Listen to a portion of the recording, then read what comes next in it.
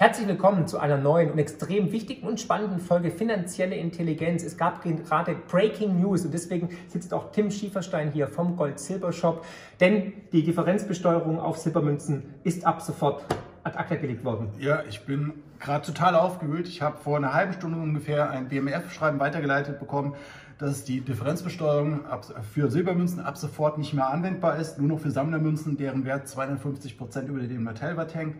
Also, und letzter Satz ist, dir ist das ab sofort anzuwenden. Deshalb sind wir gerade dabei und ich weiß, dass andere Edelmetallhändler auch tun, alle Silbermünzen zu deaktivieren im Shop, äh, ja. damit wir uns nächste Woche sortieren können. Aber ja, ab sofort 19% auf also, Silbermünzen also so, soweit ich weiß, äh, gilt das ab sofort, woher kennt man diese Worte noch? Genau, Schabowski, Grenze und so weiter. Also wir sehen eine Art, wie ich finde, Bananenrepublik, weil ja. solche Sachen werden dann Freitagabends kurz mal so rübergeschickt vor und Feiertag, so weiter. Tag vor, dem, vor dem Feiertag, immer in der Feigheit des Wochenendes.